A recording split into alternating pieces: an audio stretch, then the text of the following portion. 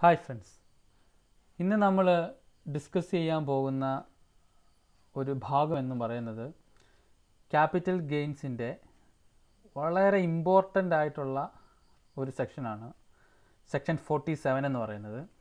കാരണം ഈ section forty സെവനെ base ചെയ്തിട്ടാണ് നമ്മളുടെ ഒരു മിക്കവാറും ഉള്ള പ്രോബ്ലംസ് എല്ലാം ഈ ക്യാപിറ്റൽ ഗെയിൻസിൽ നിന്ന് വരുന്നത്. കാരണം ഇത് പഠിച്ചു കഴിഞ്ഞാൽ സെക്ഷൻ ഫോർട്ടി സെവൻ കുറച്ച് ലെങ്തിയായ കുറേ കാര്യങ്ങൾ ചേർന്ന ഒരു പത്ത് മുപ്പത്തിരണ്ട് പോയിന്റ്സ് ഒക്കെ ചേരുന്നതാണ്.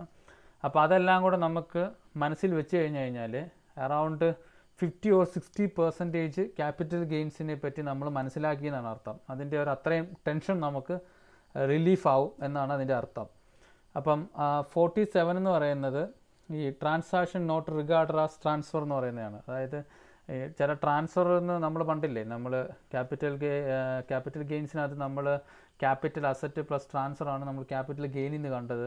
അപ്പോൾ ട്രാൻസ്ഫർ ഉണ്ടായിരിക്കണം അത് ക്യാപിറ്റൽ അസറ്റ് ആയിരിക്കണം അത് പ്രീവിയസ് ഇയർ സംഭവിക്കണം അപ്പോൾ നമ്മൾ ക്യാപിറ്റൽ ഗെയിൻ ആയിട്ട് ട്രീറ്റ് ചെയ്യുമെന്ന് പറഞ്ഞു. എന്നിട്ട് നമ്മൾ അതിനകത്ത് ട്രാൻസ്ഫർ എന്ന ടൈം എന്തുകൊണ്ടാണ് ഉദ്ദേശിക്കുന്നതെന്ന് പറഞ്ഞിട്ട് എന്തൊക്കെ ട്രാൻസ്ഫർ ആകാം എന്തൊക്കെ ട്രാൻസ്ഫർ അല്ല എന്നൊക്കെ നമ്മൾ പഠിച്ചായിരുന്നു. ഇനി ഒന്നും കൂടെ സംഭവങ്ങൾ പറയും. ഇത് ട്രാൻസ്ഫർ ആയിരിക്കും. കാരണം ഇതിന്റെ ട്രാൻസ്ഫറിന്റെ എല്ലാ ഫോമും സാറ്റിസ്ഫൈ ചെയ്യുമെങ്കിൽ പോലും അതിനകത്ത് ട്രാൻസാ ഈ ട്രാൻസാക്ഷനെ നമ്മൾ ട്രാൻസ്ഫർ ആക്കി മാറ്റത്തില്ല. അത് ട്രാൻസ്ഫർ ആയിട്ട് കണക്കാക്കത്തില്ല. എന്നാൽ ചില കണ്ടീഷൻസ് സാറ്റിസ്ഫൈ ചെയ്യുക ഇതിനെ ട്രാൻസ്ഫർ ആയിട്ട് ട്രീറ്റ് ചെയ്യത്തില്ല. അങ്ങനെ ആകുമ്പോൾ നമുക്ക് ക്യാപിറ്റൽ ഗെയിൻ എന്നുള്ള രീതി ഹെഡിൽ നമുക്ക് എക്സംപ്റ്റഡ് കിട്ടും എന്നുള്ള ഒരു രീതിയാണ് ഇതിനകത്ത് പറഞ്ഞു വരുന്നത്. അത് ഏതൊക്കെയാണെന്നാണ് നമുക്ക് നമുക്ക് നോക്കാം. ഫസ്റ്റ് അത് ഞാൻ ഒരു കുറച്ച് പോർഷൻ കുറച്ച് പോർഷനായിട്ടാണ് മാറ്റിയേക്കുന്നത്. ആദ്യം കുറച്ച് ഒരു ഡിവിഷൻ പഠിക്കാം. അത് കഴിഞ്ഞ് അടുത്ത ഡിവിഷൻ പഠിക്കാം. അടുത്ത വേറൊരു സെക്ഷനിൽ കുറച്ച് ഡിവിഷൻസ് പഠിക്കാം. അങ്ങനെ രീതിയിലേക്കാണ് ഇതിനെ മാറ്റിയേക്കുന്നത്. അപ്പം നിങ്ങൾക്ക് വളരെ ഈസി ആയിട്ട് ഇതിനെ മനസ്സിലാക്കാൻ പറ്റും. സോ റിലേറ്റ് ചെയ്ത് റിലേറ്റ് ചെയ്ത് വരുന്നതിനെല്ലാം കൂടെ ഒരു സെക്ഷനും അടുത്തതിനെല്ലാം കൂടെ വേറൊരു സെക്ഷൻ അങ്ങനെ അങ്ങനെ ആക്കിയിട്ട് കുറച്ച് രണ്ട് മൂന്ന് സെക്ഷൻ കൊണ്ട് ഇത് തീർക്കാമെന്നാണ് ഉദ്ദേശിക്കുന്നത്. സോ നമുക്ക് നമുക്ക് പഠിക്കാൻ പോവാം. Section forty seven transaction which are not considered as transfer അതായത് ഇനിയിപ്പോൾ നമ്മൾ ഇനി പറയാൻ പോകുന്ന ട്രാൻസാക്ഷൻസിനെ നമ്മൾ ട്രാൻസ്ഫർ എന്ന രീതിയിൽ കൺസിഡർ ചെയ്യില്ല. ട്രാൻസ്ഫർ എന്ന രീതിയിൽ കൺസിഡർ ചെയ്തില്ല എന്നുണ്ടെങ്കിൽ നമ്മൾ ഒരിക്കലും ക്യാപിറ്റൽ ഗെയിൻ എന്ന ഹെഡിലേക്ക് വരുത്തൂല. അതൊരു ടാക്സ് കൊടുക്കേണ്ട ആവശ്യവും വരുന്നില്ല. മനസ്സിലാവുന്നുണ്ടോ? അപ്പം ഇനി പറയുന്ന ട്രാൻസാക്ഷൻ അതിന് ചില കണ്ടീഷൻസും കാര്യങ്ങളൊക്കെ ഉണ്ട്. അപ്പോൾ അതാണ്ട് പറഞ്ഞിരിക്കുന്നു transaction are exempt from chargeable to capital gains ഈ ട്രാൻസാക്ഷൻ എന്തുവാണ്? ക്യാപിറ്റൽ ഗെയിൻസിന്റെ അതിൽ നിന്ന് എക്സംപ്റ്റ് ആണ്. Subject to the satisfaction of condition stipulated എന്ന് പറഞ്ഞാൽ ചില കണ്ടീഷൻസ് ഉണ്ട്. ആ കണ്ടീഷൻ ഓക്കെ ആണെന്നുണ്ടെങ്കിൽ നമ്മൾ ഇതിൽ നിന്ന് എന്താ പറയുന്നത്? ഈ ട്രാൻസ്ഫർ എന്ന ആ ഒരു ഒരു രീതിയിൽ നിന്ന് നമ്മളെ മാറ്റുകയും അത് ട്രാൻസ്ഫർ ആയിട്ട് ട്രീറ്റ് ചെയ്യാതിരിക്കുകയും ചെയ്യും. അപ്പോൾ അത് നമുക്ക് ഏതൊക്കെയാണ് ഈ നമ്മുടെ ട്രാൻസാക്ഷൻസ് ഏതൊക്കെയാണെന്ന് നോക്കാം. ഏതൊക്കെയാണെന്ന് നോക്കാം.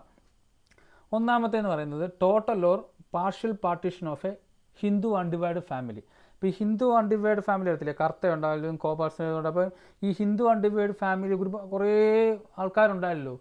അപ്പോൾ അവരെന്തോ ചെയ്യുന്നു? പാർട്ടീഷൻ ചെയ്യുന്നു. ഇപ്പോൾ ഒന്നുകിൽ ടോട്ടൽ പാർട്ടീഷൻ നടക്കാം. എല്ലാവരും കൂടെ പോയിട്ട് പാർട്ടീഷൻ ചെയ്യുന്നു. അതല്ലെന്നുണ്ടെങ്കിൽ ആ ഗ്രൂപ്പിൽ ഒന്നോ രണ്ടോ പേരെന്തോ പറയുന്നു? അവർക്ക് സെപ്പറേറ്റ് ചെയ്യണം മാറണം എന്ന് പറഞ്ഞിട്ട് മാറുകയോ ചെയ്തു. രണ്ടായാലും കുഴപ്പമില്ല. അപ്പോൾ ആ സമയത്ത് എന്തോ ചെയ്യുന്നു? ക്യാപിറ്റൽ അസറ്റ് എന്ന് പറയുന്നത് ട്രാൻസ്ഫർ ആകുന്നു എന്ന് വെച്ചു. അപ്പോൾ അവിടെ എല്ലാ സംഭവങ്ങളും ഉണ്ട്. ട്രാൻസ്ഫർ ആയി. ക്യാപിറ്റൽ അസറ്റാണ് അത് ട്രാൻസ്ഫറും ആയി. ആ പ്രീവിയസ് ഇയർ സംഭവിച്ചു. എന്നിരുന്നാൽ തന്നെയും total or partial partition of a Hindu undivided Hindu undivided family എന്നൊരു ടോട്ടൽ അല്ലെങ്കിൽ പാർഷ്യൽ പാർട്ടീഷനോ കാരണത്താൽ നമ്മുടെ ക്യാപിറ്റൽ അസറ്റ് എന്ന് പറയുന്ന Hindu undivided family capital asset ആ അവരുടെ മെമ്പേഴ്സിന് പോയി കഴിഞ്ഞു കഴിഞ്ഞാൽ എന്തെന്ന് പറയില്ല? അതിനെ ട്രാൻസ്ഫർ ആയിട്ട് കൺസിഡർ ചെയ്യത്തില്ല. മനസ്സിലാവുന്നുണ്ടോ? അപ്പോൾ ട്രാൻസ്ഫർ ആയിട്ട് കൺസിഡർ ചെയ്യാത്തതുകൊണ്ട് ക്യാപിറ്റൽ ഗെയിനിൽ അത് എക്സംപ്റ്റഡ് ആയിരിക്കും. മനസ്സിലാവുന്നുണ്ടോ? അപ്പം ഒരു ഹിന്ദു അൺഡിവൈഡ് ഫാമിലിയിലെ പാർട്ടീഷൻ നടക്കുന്ന സമയത്ത് ക്യാപിറ്റൽ അസറ്റ് ട്രാൻസ്ഫർ ചെയ്താൽ അത് ട്രാൻസ്ഫർ ആയി കൺസിഡർ ചെയ്യത്തില്ല. മനസ്സിലാവുന്നുണ്ടോ? അതാണ് ഒന്നാമത്തെ പോയിന്റ് രണ്ടാമത്തെ പോയിന്റ് എന്ന് പറയുന്നത് a gift or will or an irrevocable trust except E S O P അതായത് നമുക്ക് ഗിഫ്റ്റ് ആയിട്ടോ അല്ലെങ്കിൽ വില്ലായിട്ടോ അതോ അല്ലെങ്കിൽ ഇറിവോക്കബിൾ ട്രസ്റ്റ് അത് നിങ്ങൾക്ക് നിങ്ങൾക്ക് ചിലപ്പോൾ മനസ്സിലായി കാണത്തില്ല? ഇറിവോക്കബിൾ ട്രസ്റ്റ് എന്ന് പറഞ്ഞു കഴിഞ്ഞാൽ. ഫോർ എക്സാമ്പിൾ ഇപ്പോൾ ഒരു ട്രസ്റ്റ് ഓർ എന്റിറ്റി അല്ലെങ്കിൽ ഒരു ഇൻഡിപെൻഡന്റ് ഒരു ട്രസ്റ്റ് ഉണ്ടെന്ന് വെച്ചോ. അപ്പം എ എന്ന് പറയുന്ന ഒരാൾ അയാളുടെ കയ്യിൽ ഒരു പ്രോപ്പർട്ടി ഉണ്ട്.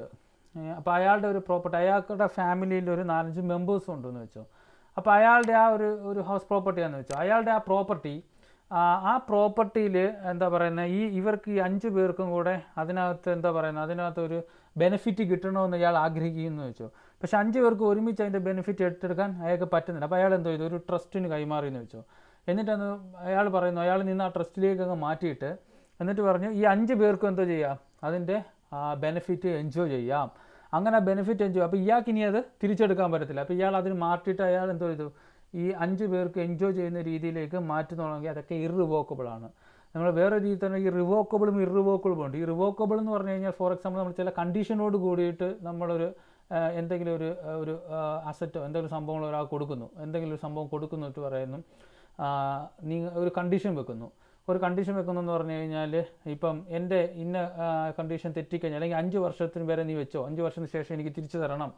എന്നൊക്കെ പറഞ്ഞൊരു കണ്ടീഷൻ വെക്കുകയാണെന്നുണ്ടെങ്കിൽ അതൊക്കെ റിവോക്കബിൾ എന്ന് പറയും. ഈ ഇറിവോക്കബിൾ നേച്ചർ എന്ന് പറഞ്ഞു കഴിഞ്ഞാൽ നീ ലൈഫ് ലോങ് കൈവച്ചോ എന്ന് പറയും. എന്ന് പറയുമ്പോൾ അയാളുടെ മരിക്കുന്നിടം വരെ വെച്ചോ. മരിച്ചു കഴിഞ്ഞാൽ പിന്നെ അയാൾക്ക് തിരിച്ചെടുക്കുക അത് കുഴപ്പമില്ല. മരിക്കുന്നിടം വരെ അയാളുടെ ലൈഫ് ലോങ് അവിടെ വെച്ചോളാൻ പറഞ്ഞിട്ടുണ്ടോ ഇത് ആ സംഭവം ഏതെങ്കിലും ഒരു സാധനം അയാൾക്ക് കൊടുത്തു. അത് ഇറിവോക്കബിൾ മീനിങ്ങിലാണ് വരുന്നത്. മനസ്സിലാവുന്നത് അപ്പോൾ റിവോക്കബിൾ ഇറിവോക്കബിൾ എന്ന് പറഞ്ഞാൽ മീനിങ് പിടി കിട്ടിയോ അപ്പോൾ അങ്ങനെയുള്ളത് എന്തെന്ന് പറയത്തില്ല? ട്രാൻസ്ഫർ ആയിട്ട് ട്രീറ്റ് ചെയ്യത്തില്ല. Except E S O P അതായത് എംപ്ലോയി സ്റ്റോക്ക് ഓപ്ഷൻ പ്ലാൻ പ്രകാരം എന്താ പറയുന്നത് വല്ല എംപ്ലോയീസിന് വല്ല ഡിബഞ്ചേഴ്സ് അല്ലെങ്കിൽ ഷെയർസ് അല്ലെങ്കിൽ വാറൻസ് ഇതെല്ലാം ഉണ്ടല്ലോ. ഈ കമ്പനി ആണെങ്കിൽ ഡയറക്റ്റ്ലി അല്ലെങ്കിൽ ഇൻഡയറക്റ്റ്ലി ഇത് ഈ എംപ്ലോയി സ്റ്റോക്ക് ഓപ്ഷൻ പ്ലാൻ പ്രകാരം എംപ്ലോയി കൊടുത്തിട്ട് അത് അവർ ഗിഫ്റ്റായിട്ടോ വില്ലായിട്ടോ ഇറിവോക്കബിൾ ട്രസ്റ്റായിട്ടോ അങ്ങനെ രീതിയിൽ കൈമാറും ചെയ്താൽ അത് ട്രാൻസ്ഫർ ആയിട്ട് തന്നെ മീൻ ചെയ്യും. നിങ്ങൾക്ക് മനസ്സിലാവുന്നുണ്ടോ? ക്യാപിറ്റൽ അസറ്റ് എന്ന് പറയുന്നത് ഗിഫ്റ്റായിട്ടോ വില്ലായിട്ടോ ഇറിവോക്കബിൾ ട്രസ്റ്റ് രീതിയിലോ കൈമാറ്റം ചെയ്ത് കഴിഞ്ഞാൽ അതിനെ ട്രാൻസ്ഫർ ആയിട്ട് മീൻ ചെയ്യില്ല. Except E S O P employees stock option plan ഇപ്പോൾ employee stock operation stock option plan പ്രകാരം കമ്പനി ഡിബഞ്ചേഴ്സോ ഷെയർസോ അല്ലെങ്കിൽ വാറൻസോ അവരുടെ എംപ്ലോയീസിന് അലോട്ട് ചെയ്തിട്ട് അവരെന്തോ ചെയ്തു? അത് ഗിഫ്റ്റായിട്ടോ അല്ലെങ്കിൽ വില്ലായിട്ടോ ഇറവോക്കബിൾ ട്രസ്റ്റ് ആയിട്ടോ അങ്ങനെ കൈമാറ്റം ചെയ്താൽ അത് ട്രാൻസ്ഫർ ആയിട്ട് മീൻ ചെയ്യും. അതൊഴിച്ച് ബാക്കിയെല്ലാം എന്തോ ഇങ്ങനെ കൊടുക്കുന്നതെല്ലാം ട്രാൻസ്ഫർ ആയിട്ട് മീൻ ചെയ്യില്ല എന്നാണ് പറയുന്നത്. അപ്പോൾ നിങ്ങൾ രണ്ടെണ്ണം നിങ്ങൾക്ക് മനസ്സിലായല്ലോ. Transaction which not consider as transfer എന്ന് പറയുന്നത്. ഇനി നമുക്ക് അടുത്തയിലേക്ക് പോവാം. അടുത്തതെന്ന് പറയുന്നത് any transfer of capital asset ഇനി ക്യാപിറ്റൽ അസറ്റ് ട്രാൻസ്ഫർ ഇനി ഇനിയുള്ളതാണ് ചിലപ്പോൾ നിങ്ങൾക്ക് ഒരുപക്ഷെ വളരെ കോംപ്ലിക്കേറ്റഡ് ആയിട്ട് തോന്നുന്ന രീതിയിൽ വരുന്നത്. എങ്കിലും വളരെ സിമ്പിളായിട്ട് രീതിയിൽ അത് നമുക്ക് മനസ്സിലാക്കാം. അങ്ങനെയാണ് ഈ പ്രസന്റേഷൻ ഒരുക്കിയിരിക്കുന്നത്. അതായത് ഹോൾഡിംഗ് കമ്പനി അതിന്റെ അവരൊരു capital asset it's wholly owned Indian subsidiary company Indian subsidiary company എന്ന് തന്നെ പറഞ്ഞ് ഞാൻ വെച്ചേക്കുവാണ്. അതായത് ഹോൾഡിംഗ് കമ്പനി അതിന്റെ സബ്സിഡിയറി കമ്പനിക്ക് എന്തെന്ന് പറയുന്നത്?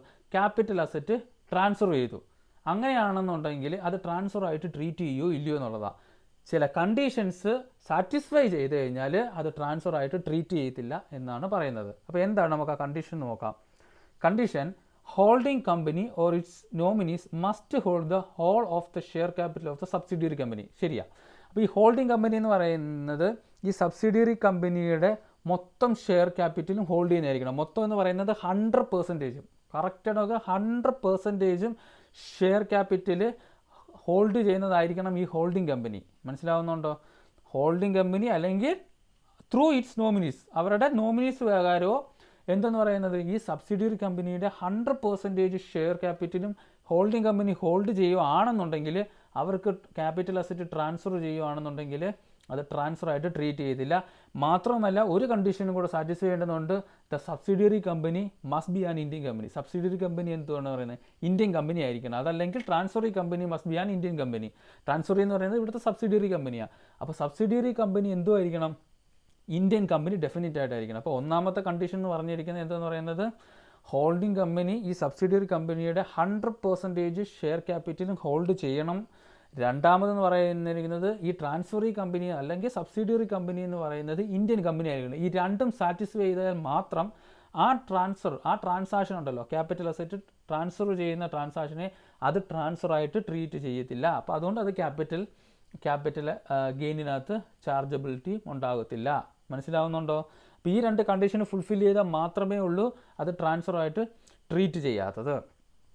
അടുത്ത ഇതിന് നേരെ തിരിച്ചിട്ട്. ഇപ്പം നമ്മൾ ഹോൾഡിംഗ് കമ്പനിയിൽ നിന്ന് സബ്സിഡിയറി കമ്പനിയിലേക്കാണ് ക്യാപിറ്റൽ അസറ്റ് ട്രാൻസ്ഫർ ചെയ്യുന്നതെന്ന് പഠിച്ചു. ഇനി തിരിച്ചാണെങ്കിലോ സബ്സിഡിയറി കമ്പനി ഹോൾഡിംഗ് കമ്പനിയിലേക്ക് എന്തെന്ന് പറയുന്നത്? ഈ അസറ്റ് ട്രാൻസ്ഫർ ചെയ്തു. അങ്ങനെയാണെങ്കിലും ഇതുപോലെ കണ്ടീഷൻസ് ഉണ്ട്. കണ്ടീഷൻ സാറ്റിസ്ഫൈ ചെയ്താൽ മാത്രമേ അത് ട്രാൻസ്ഫർ ആയിട്ട് ട്രീറ്റ് ചെയ്യാതെ ഇരിക്കത്തുള്ളൂ. എന്താണ് condition the whole of the share capital of the subsidiary company must be held by the holding company നേരത്തെ പറഞ്ഞ അതേ പോയിന്റ് തന്നെയാണ്. എന്ന് പറയുന്നത് എന്താണ്? ഈ സബ്സിഡിയറി കമ്പനി ഹോൾഡിംഗ് കമ്പനിക്കല്ലേ ക്യാപിറ്റൽ അസറ്റ് കൊടുക്കുന്നത്? ആ ഹോൾഡിംഗ് കമ്പനി എന്ന് പറയുന്നത് ഈ സബ്സിഡിയറി കമ്പനിയുടെ ഹൺഡ്രഡ് പെർസെന്റേജ് ഷെയർ ക്യാപിറ്റലിന് ഹോൾഡ് ചെയ്യുന്ന കമ്പനി ആയിരിക്കണം. And the holding company must be an Indian company എന്ന് പറഞ്ഞാൽ ഈ ട്രാൻസ്ഫറി കമ്പനി ട്രാൻസ്ഫറി കമ്പനി ഇവിടുത്തെ കേസിൽ ആരാ? ഹോൾഡിംഗ് കമ്പനിയാണ് അപ്പോൾ ഈ ട്രാൻസ്ഫറി കമ്പനി അല്ലെങ്കിൽ ഹോൾഡിംഗ് കമ്പനി ഇന്ത്യൻ കമ്പനി ആയിരിക്കണം. അതുപോലെ തന്നെ ഹോൾഡിംഗ് കമ്പനി എന്ന് പറയുന്നത് ഈ ട്രാൻസ്ഫർ ചെയ്യുന്ന സബ്സിഡിയറി കമ്പനീന്റെ ഹൺഡ്രഡ് പെർസെന്റേജ് ഷെയർ ക്യാപിറ്റലും ഹോൾഡ് ചെയ്യുന്ന കമ്പനി ആയിരിക്കണം. അപ്പോൾ നിങ്ങൾക്ക് മൂന്നും നാലും പോയിട്ട് അപ്പോൾ ഒന്നും രണ്ടും മൂന്നും നാലും പോയിന്റ് പഠിച്ചല്ലേ ഈ മൂന്നും നാലും കണ്ടോ? അങ്ങോട്ടും ഇങ്ങോട്ടും തിരിച്ച് തിരിച്ചാണ്. അപ്പം നിങ്ങൾക്ക് പെട്ടെന്ന് അത് മനസ്സിലായി ഇങ്ങനത്തെയുള്ള ക്യാപിറ്റൽ അസറ്റ് ട്രാൻസ്ഫർ ചെയ്യുന്നത്. ഇനി അടുത്ത നമുക്ക് പോയിന്റ് നോക്കാം. ഇന്ന് പറഞ്ഞ ഇതിനകത്തൊരു അമെൻമെന്റ് ഉണ്ട്.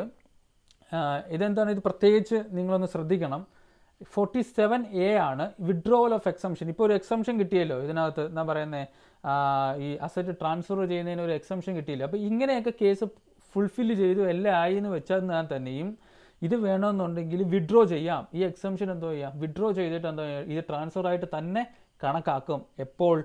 എപ്പോൾ എന്നുള്ളതാണ് wholly owned subsidy company ceases its status എന്ന് പറഞ്ഞു കഴിഞ്ഞാൽ ഇപ്പം ഞാൻ പറഞ്ഞില്ലേ ഹൺഡ്രഡ് പെർസെന്റേജ് ഷെയർസ് സബ്സിഡിയറി കമ്പനിയുടെ ഹോൾഡിംഗ് കമ്പനി എന്തോ ചെയ്യണം ഹോൾഡ് ചെയ്തിരിക്കണമെന്ന് പറഞ്ഞില്ലേ.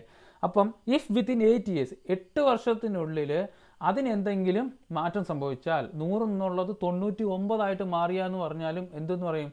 അതിന്റെ ആ സ്റ്റാറ്റസ് മാറി. ഹൺഡ്രഡ് പെർസെന്റേജ് എന്നുള്ള സ്റ്റാറ്റസ് മാറിയില്ലേ? അങ്ങനെ status മാറിക്കഴിഞ്ഞാലോ converts transferred capital asset into stock in trade അപ്പോൾ ഈ അസ ക്യാപിറ്റൽ അസറ്റ് ട്രാൻസ്ഫർ ചെയ്തില്ലേ ആ ക്യാപിറ്റൽ അസറ്റ് സ്റ്റോക്ക് ഇൻ ട്രേഡായിട്ട് മാറ്റുകയോ ചെയ്തു കഴിഞ്ഞാൽ അതും എട്ട് വർഷത്തിനുള്ളിലാണ് അങ്ങനെ ചെയ്യുന്നതെന്നുണ്ടെന്നുണ്ടെങ്കിൽ ഓഫ് കോഴ്സ് എന്തോ ചെയ്യുന്നു? ഇത് ടാക്സിബിൾ ആയിരിക്കും. മനസ്സിലാകുന്നുണ്ടോ ഇത് ട്രാൻസ്ഫർ ആയിട്ട് കൺസിഡർ ചെയ്യുകയും ചെയ്യും. അത് എപ്പോഴാണോ അത് ടുക്ക് പ്ലേസ് അത് അവിടെ തൊട്ട് എന്തോ പറയുന്നു? ഈ എപ്പോഴാണോ ഇതിന്റെ ഈ ട്രാൻസ്ഫർ നടന്നതെന്ന് പറഞ്ഞു കഴിഞ്ഞാൽ അവിടെ തൊട്ട് എന്തോ ചെയ്യുന്നു? ഇത് ടാക്സിബിൾ ആയിട്ട് പരിഗണിക്കുകയും ചെയ്യും. നിങ്ങൾക്ക് മനസ്സിലാവുന്നുണ്ടോ? ഇങ്ങനെയുള്ള കണ്ടീഷൻസ് ഫുൾഫിൽ ചെയ്ത് കഴിഞ്ഞാൽ പോലും എട്ട് വർഷത്തിനുള്ളിൽ ഈ സബ്സിഡിയറി കമ്പനിയുടെ സ്റ്റാറ്റസ് മാറാൻ പാടില്ല. ഹോൾഡിംഗ് കമ്പനി അതിന്റെ ഹൺഡ്രഡ് പെർസെന്റ് ഷെയറും ഹോൾഡ് തന്നെ ചെയ്ത് തന്നെ ഇരിക്കണം. അങ്ങനെ മാറി എന്ന് പറഞ്ഞാലോ അതുപോലെ തന്നെ ഈ ക്യാപിറ്റൽ അസറ്റ് എന്ന് പറയുന്നത് സ്റ്റോക്ക് ഇൻ ട്രേഡായിട്ട് കൺവേർട്ട് ചെയ്യുന്നതോ സംഭവിച്ചു കഴിഞ്ഞാൽ forty seven section forty seven A പ്രകാരം ഈ എക്സംഷനും വിഡ്രോ ചെയ്യും. മനസ്സിലാവുന്നുണ്ടോ? അതാണ് അമെൻമെന്റ് വന്നതെന്ന് പറയുന്നത്. ഇതും പ്രത്യേകം ശ്രദ്ധിക്കുക. അടുത്ത നമുക്ക് നോക്കാം. Any transfer of capital asset in a scheme of amalgamation ഇപ്പോൾ ഈ അമാൽഗമേഷൻ നടക്കുമ്പോൾ ആ എന്താ പറയുന്നത് അതിന്റെ ക്യാപിറ്റൽ അസറ്റ് ട്രാൻസ്ഫർ ചെയ്യുന്നതുമായിട്ട് ബന്ധപ്പെട്ടാണ് നമുക്ക് നോക്കുന്നത്. അമാൽഗമേറ്റിംഗ് കമ്പനി ഇപ്പോൾ നേരത്തെ നമ്മൾ ഹോൾഡിംഗ് സബ്സിഡിയറിയാണ് ഇത് അമാൽഗമേഷൻ സംഭവിക്കുന്നതാണ്. Amalgamating company amalgamated company. അപ്പോൾ എന്ന് പറഞ്ഞു കഴിഞ്ഞാൽ എന്തോ അമാൽഗമേറ്റിംഗ് കമ്പനി എന്ന് പറഞ്ഞിട്ട് അമാൽഗമേറ്റഡ് കമ്പനി ആകുമ്പോഴത്തേന് ഈ അമാൽഗമേറ്റിംഗ് എന്ന് പറയുന്ന സംഭവം എന്തോ പിന്നെ ഇല്ലാതെ വരും. അതിന്റെ ഇപ്പം എ എന്ന് പറയുന്നത് എന്തോന്ന് പറയുന്നത്? ബിയിലേക്ക് ലയിച്ച് ചേർന്ന് കഴിഞ്ഞാൽ പിന്നെ എ ഇല്ല. മനസ്സിലാകുന്നുണ്ടോ എ മാറിപ്പോയില്ല. അപ്പോൾ അന്നേരം ഉണ്ടാകുന്ന ക്യാപിറ്റൽ അസറ്റിന്റെ ട്രാൻസ്ഫർ ഉണ്ടല്ലോ. അത് ട്രാൻസ്ഫർ ആയിട്ട് കൺസിഡർ ചെയ്യുമോ ഇല്ലയോ എന്നുള്ളതാണ് അതിനും കുറച്ച് കണ്ടീഷൻസ് ഉണ്ട്. അത് നമുക്ക് കണ്ടീഷൻസ് നോക്കാം. If the amalgamated company is an Indian company amalgamated ആവുന്ന കമ്പനി ഇന്ത്യൻ കമ്പനിയാണെന്നുണ്ടെങ്കിൽ എന്താണ് എക്സംറ്റ് ആണ്? നമുക്ക് എന്താ പറയുന്നത് ക്യാപിറ്റൽ ഗെയിൻസിൽ ചാർജബിലിറ്റി ഇല്ല എക്സംറ്റ് ആയിരിക്കും. മനസ്സിലാവുന്നുണ്ടോ? അമാൽഗമേറ്റഡ് കമ്പനി എന്ന് പറയുന്നത് ഇന്ത്യൻ കമ്പനി ആയിട്ടുള്ള അമാൽഗമേഷൻ ആണെന്നുണ്ടെങ്കിൽ ക്യാപിറ്റൽ അസറ്റ് ട്രാൻസ്ഫർ ചെയ്യുകയാണെന്നുണ്ടെങ്കിൽ അതൊരിക്കലും എന്താ വരത്തില്ല? ക്യാപിറ്റൽ ഗെയിനി ചാർജബിൾ അല്ല അത് എക്സംറ്റ് ആയിരിക്കും.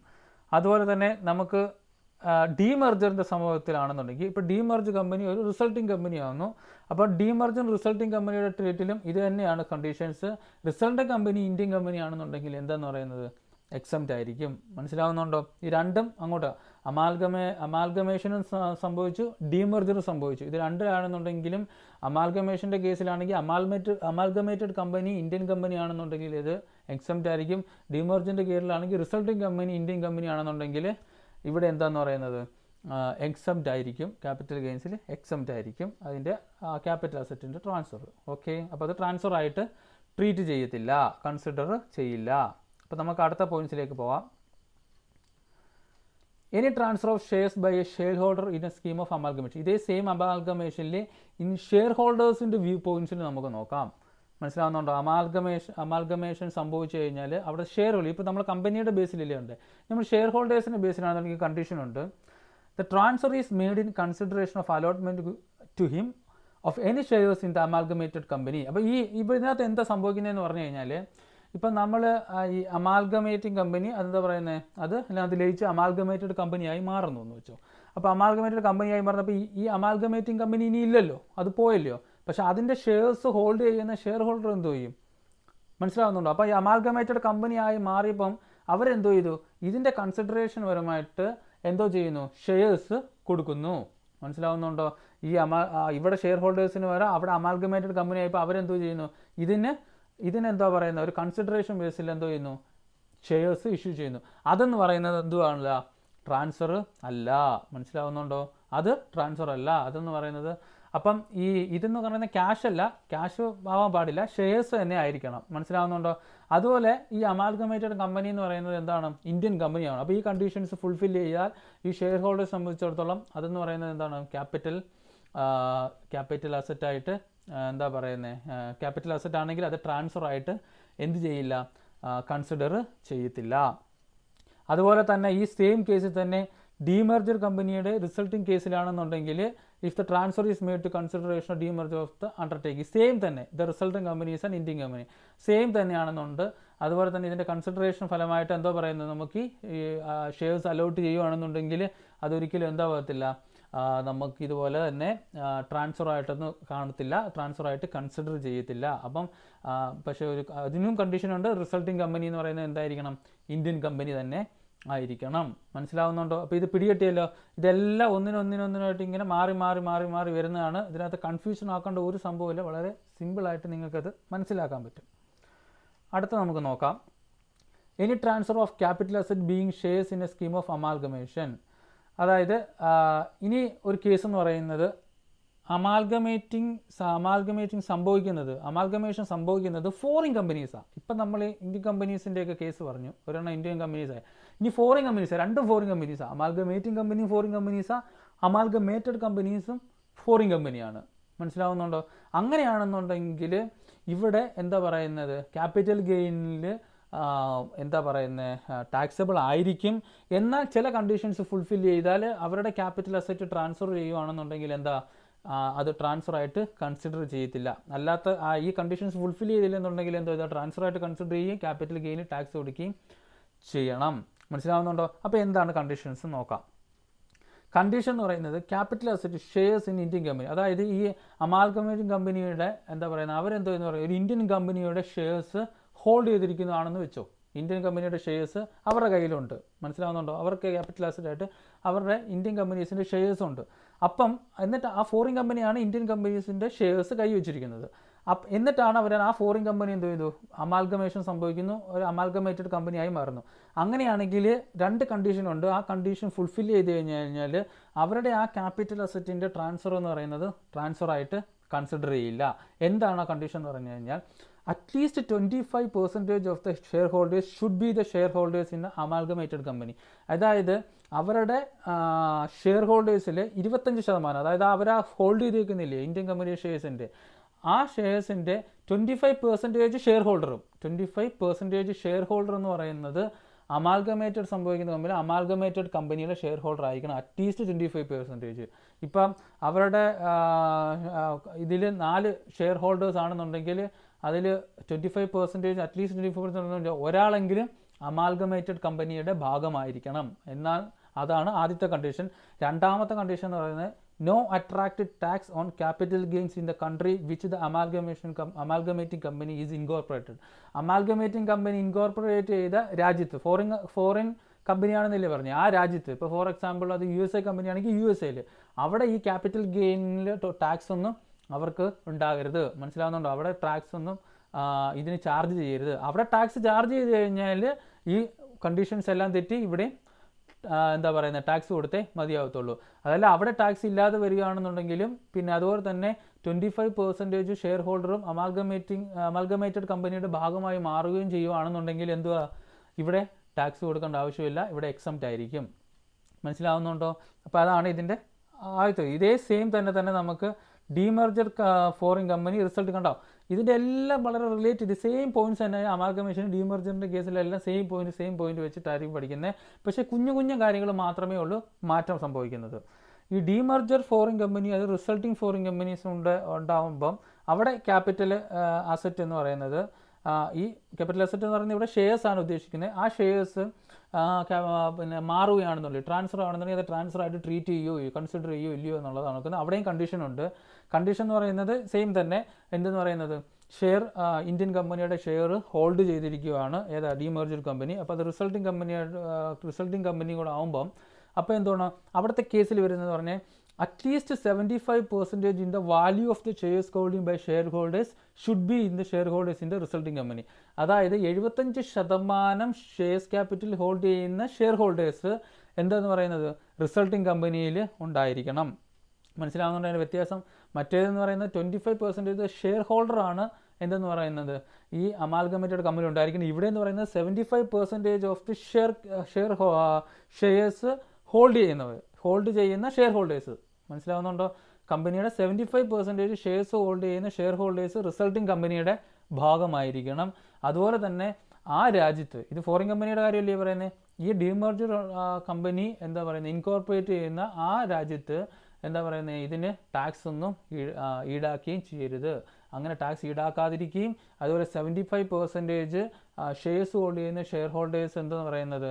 ഈ റിസൾട്ടിംഗ് കമ്പനിയുടെ ഭാഗമാവുകയും ചെയ്തു കഴിഞ്ഞാൽ ഇതിനെ ട്രാൻസ്ഫർ ആയിട്ട് ട്രീറ്റ് ചെയ്യില്ല കൺസിഡർ ചെയ്യില്ല. അതുകൊണ്ട് എക്സംറ്റും ആയിരിക്കും. ഇത് നിങ്ങൾക്ക് മനസ്സിലായല്ലോ? അടുത്ത് നമുക്ക് നോക്കാം.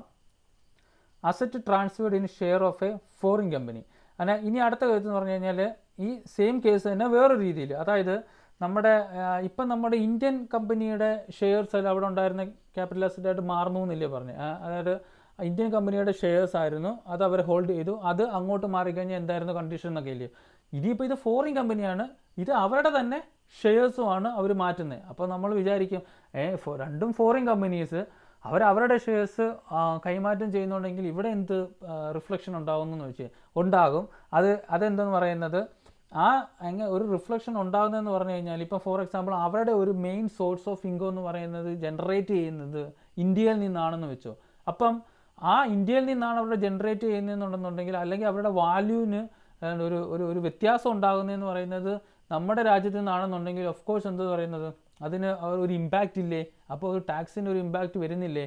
പക്ഷേ എന്നിരുന്നാൽ തന്നെയും ട്രാൻസ്ഫറായിട്ട് കൺസിഡർ ചെയ്യില്ല. അവരും ഒരു കണ്ടീഷൻസ് രണ്ട് കണ്ടീഷൻ ആ രണ്ട് കണ്ടീഷൻസ് സാറ്റിസ്ഫൈ ചെയ്ത് കഴിഞ്ഞാൽ അവരുടെ ആ അസറ്റ്സ് മാറ്റുന്നതിന് ഒരിക്കലും എന്തോ ഇല്ല ട്രാൻസ്ഫർ ആയിട്ട് കൺസിഡർ ചെയ്യില്ല. എന്താണ് ആ കണ്ടീഷൻസ് നോക്കാം. അട shares in foreign company which drives value from Indian company എന്ന് പറഞ്ഞില്ലേ കണ്ടല്ലോ? അവരുടെ ഒരു മെയിൻ സോഴ്സ് എന്ന് പറയുന്നത് ഇന്ത്യൻ കമ്പനിയിൽ നിന്നാണെന്ന് വെച്ചോ. അപ്പോൾ ഇന്ത്യയിൽ നിന്നാണ് അവരുടെ സോഴ്സ് പക്ഷേ അവരുടെ ഷെയർ ഹോൾഡിംഗ് ഒന്നും ചെയ്യുന്നില്ല. അവരുടെ അസറ്റ്സ് സംഭവങ്ങളെല്ലാം അവരുടെ തന്നെയാണ് മാറ്റുന്നത്. പക്ഷേ അവരുടെ അവരുടെ ആ വാല്യൂവിന്റെ വ്യത്യാസം വരുന്നതെന്ന് പറയുന്നത് ഇന്ത്യൻ ഇതിനെ ആശ്രയിച്ച് ഇന്ത്യൻ കമ്പനിയെ ആശ്രയിച്ചാണ് ഇരിക്കുന്നതെന്ന് വെച്ചോ. അങ്ങനെയാണെന്നുണ്ടെങ്കിലും ഈ പറയുന്ന നേരത്തെ പറയുന്ന അതേ കേസ് കെട്ട് തന്നെയാണ്. At least twenty five percentage of the shareholder should be the shareholders in amalgamated company amalgamated company twenty five percentage of share ഹോൾഡറും amalgamated കമ്പനിയുടെ ഭാഗമായിരിക്കണം. മനസ്സിലാവുന്നുണ്ടോ? അങ്ങനെയാവണം. അതുപോലെ തന്നെ അവിടെ എന്തോ ക്യാപിറ്റൽ ഗെയിൻ എന്ത് ചെയ്യാൻ പാടില്ല? ടാക്സ് എന്താ പറയുന്നത് അവ അവരുടെ കൺട്രിയിൽ എന്തോ ചെയ്യാൻ പറ്റില്ല ക്യാപിറ്റൽ ഗെയിനിൽ ഇതിൽ എന്താ പറയുന്നത് ടാക്സ് ഈടാക്കാൻ പറ്റത്തില്ല. അപ്പോൾ ഈ രണ്ട് കേസ് കേട്ടും എന്താ പറയുന്നത് സാറ്റിസ്ഫൈ ചെയ്താൽ മാത്രമേ ഉള്ളൂ. അവരുടെ അസറ്റ്സ് ട്രാൻസ്ഫർ എന്ന് പറയുന്നത് ട്രാൻസ്ഫർ ആയിട്ട് കൺസിഡർ ചെയ്യാതിരിക്കുകയും ക്യാപിറ്റൽ ഗെയിൻ പ്രകാരം എക്സംറ്റ് ആവുകയും ചെയ്യുന്നത്. അടുത്ത നമുക്ക് സെയിം തന്നെ നമുക്ക് എന്താ demerger foreign company resulting foreign കമ്പനിയുടെ കേസ് കേട്ടാൽ അതും മറ്റേ ഇതുപോലെ തന്നെ സെയിം തന്നെയാണ്. എന്താ പറയുന്നത്? സെവന്റി ഫൈവ് പെർസെന്റേജ് അവർ ഷെയർ ഹോൾഡ് ചെയ്യുന്ന ഷെയർ ഷെയർ ഹോൾഡേഴ്സ് എന്താ പറയുന്നത്? റിസൾട്ടിങ് കമ്പനിയുടെ ഭാഗമായിരിക്കണം. അതുപോലെ തന്നെ ക്യാപിറ്റൽ ഗെയിൻ എന്ന് പറയുന്നത് അവർക്ക് ആ രാജ്യത്ത് എന്തെന്ന് പറയരുത്? ടാക്സ് ഈടാക്കരുത്. അങ്ങനെ ഈ രണ്ട് കണ്ടീഷൻസും സാറ്റിസ്ഫൈ ചെയ്താൽ മാത്രം എന്തെന്ന് പറയുന്നത്? അവരുടെ ട്രാൻസ്ഫറിനെ അവരുടെ അസറ്റ് ട്രാൻസ്ഫറിനെ എന്തായാലും ട്രാൻസ്ഫർ ആയിട്ട് കൺസിഡർ ചെയ്യില്ല. So so transaction which are not consider as transfer അപ്പോൾ ഇതാണ് ഒരു പന്ത്രണ്ട് കേസാണ് നമ്മൾ ഇപ്പോൾ നോക്കിയേക്കുന്നതെന്ന് പറയുന്നത്. ഇനിയുണ്ട് സെക്ഷൻ ഇനിയുണ്ട് കുറേ കണ്ടീഷൻ കുറേ ട്രാൻസാക്ഷൻസ് രീതികൾ. അപ്പം ഇത് നിങ്ങൾക്ക് വളരെ ഈസി ആയിട്ട് ലിങ്ക് ചെയ്ത് ലിങ്ക് ചെയ്ത് ലിങ്ക് ചെയ്ത് പഠിക്കാൻ പറ്റും എന്നുള്ളത് കൊണ്ടാണ് ഫസ്റ്റ് സെക്ഷനിൽ ഇത് മാത്രം ഒതുക്കിയേക്കുന്നത്. എല്ലാം കൂടെ ഒരേ രീതിയിൽ പറഞ്ഞു പോയി കഴിഞ്ഞ് കഴിഞ്ഞാൽ ചിലപ്പോൾ പെട്ടെന്ന് മനസ്സിലേക്ക് ഓർമ്മ എത്തത്തില്ല.